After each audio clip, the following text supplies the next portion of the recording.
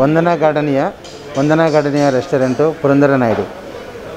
ಕಳೆದ ಎರಡು ತಿಂಗಳಿಂದ ಕರೋನಾ ಲಾಕ್ಡೌನ್ನಿಂದ ಹೋಟೆಲ್ಗೆ ತುಂಬ ಲಾಸ್ ಆಯಿತು. ನಡೀತಾ ಇರಲಿಲ್ಲ. ಇವತ್ತು ಓಪನ್ ಮಾಡಿದ್ದೀವಿ. ಸ್ವಲ್ಪ ಕಸ್ಟಮರ್ ಬರ್ತಾಯಿದ್ದರು ರೆಸ್ಪಾನ್ಸ್ ಪರವಾಗಿಲ್ಲ.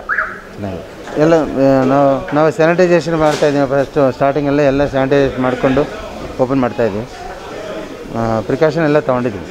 ಹೋಟೆಲ್ ಕಾರ್ಮಿಕರಿಗೆ ಯಾವುದೇ ಸೌಲಭ್ಯನೂ ಕರ್ನಾಟಕ ಸರ್ಕಾರದಿಂದ ಏನೂ ಕೊಟ್ಟಿಲ್ಲ. ಎಲ್ಲರಿಗೂ ಕನ್ಸ್ಟ್ರಕ್ಷನ್ ವರ್ಕರ್ಸ್ಗೆ ಎಲ್ಲರಿಗೂ ಕೊಟ್ಟಿದ್ದರು. ಟ್ಯಾಕ್ಸಿ ಡ್ರೈವರ್ಸ್ಗೆ ಎಲ್ಲರಿಗೂ ಕೊಟ್ಟಿದ್ದಾರೆ. ನಮ್ಮ ಹೋಟೆಲ್ ವರ್ಕರ್ಸ್ಗೆ ಮಾತ್ರ ಕಡೆಗಣಿಸಿದರು ಗೌರ್ಮೆಂಟು ಏನು ಯೋಚನೆ ಮಾಡಿಲ್ಲ ಅದ್ರ ಬಗ್ಗೆ. ಅದೇ ಓಪನ್ ಮತ್ತೆ ಹಂಡ್ರೆಡ್ ಪರ್ಸೆಂಟ್ ಓಪನ್ ಮಾಡಿದ್ರೇ ಒಳ್ಳೆಯದು ಬಿಸ್ನೆಸ್ ಆಗುತ್ತೆ. ಇದು ನಾವು ಕಳೆದ ವರ್ಷ ಆರು ತಿಂಗಳು ನಾವು ಕ ಸುಮ್ಮ ತುಂಬ ಲಾಸ್ ಆಗಿಬಿಟ್ಟು ಎಲ್ಲ ಸಾಲ ಮಾಡ್ಕೊಂಬಿಟ್ಟಿದ್ವಿ. ಈ ವರ್ಷ ಮತ್ತೆ ಆರು, ಮೂರು ತಿಂಗಳಿಂದ ಏನು ಬಿಸ್ನೆಸ್ ಎಲ್ಲ ಎಲ್ಲ ಸಾಲ ಆಗಿಬಿಟ್ಟಿದೆ. ಫುಲ್ ಓಪನ್ ಮಾಡಿದರೆ ನಮಗೂ ಸ್ವಲ್ಪ ಸಾಲ ಅದು ತೀರ್ಸೋಕ್ಕಾಗತ್ತೆ. ಹುಡುಗ್ರ ಸ್ಯಾಲ್ರೀಸು ರೆಂಟ್ ಕಟ್ಟಬೇಕು ಕರೆಂಟ್ ಬಿಲ್ಲು ಎಲ್ಲ ಮತ್ತೆ ಬರ್ಡನ್ನು ತಿಂಗಳು ತಿಂಗಳು ಆದರೆ ಎಲ್ಲ ಕಷ್ಟನೇ.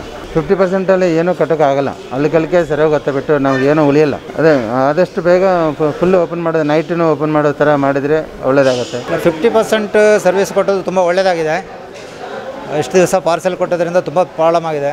ಬಿಸ್ನೆಸ್ಸು ನಾವು ಎಕ್ಸ್ಪೆಕ್ಟ್ ಮಾಡಿದಷ್ಟು ಬಿಸ್ನೆಸ್ ಬಂದಿಲ್ಲ. ಇವಾಗ ಪರವಾಗಿಲ್ಲ. ನಿಮ್ಮ ವರ್ಕರ್ಸ್ಗೆಲ್ಲ ಎಲ್ಲರಿಗೂ ವ್ಯಾಕ್ಸಿನ್ ಹಾಕ್ಸಿದ್ವಿ. ಆಲ್ಮೋಸ್ಟ್ ಎಲ್ಲರಿಗೂ ಹಾಕಿದ್ವಿ. ಇದು ಸಂಬಳ ಎಲ್ಲ ಸರ್ ಲಾಕ್ಡೌನ್ ಇರೋ ಟೈಮಲ್ಲಿ ಏನಾಗುತ್ತೆ?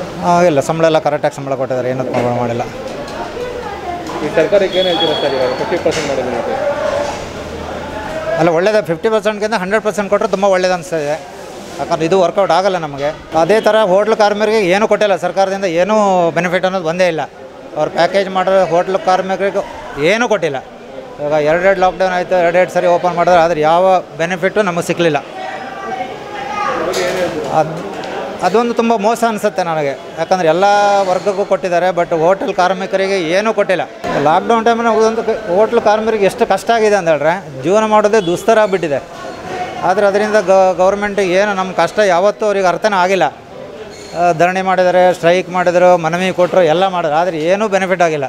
ಆ ಕಡೆಯಿಂದ ನಮಗೇನೂ ಸಹಾಯ ಆಗಿಲ್ಲ ಗೌರ್ಮೆಂಟಿಂದ ಇನ್ನಾದರೂ ಸ್ವಲ್ಪ ಏನಾದರೂ ಸಪೋರ್ಟ್ ಮಾಡಿದ್ರೆ ಒಳ್ಳೇದು ಅನಿಸ್ತಾ ಇದೆ.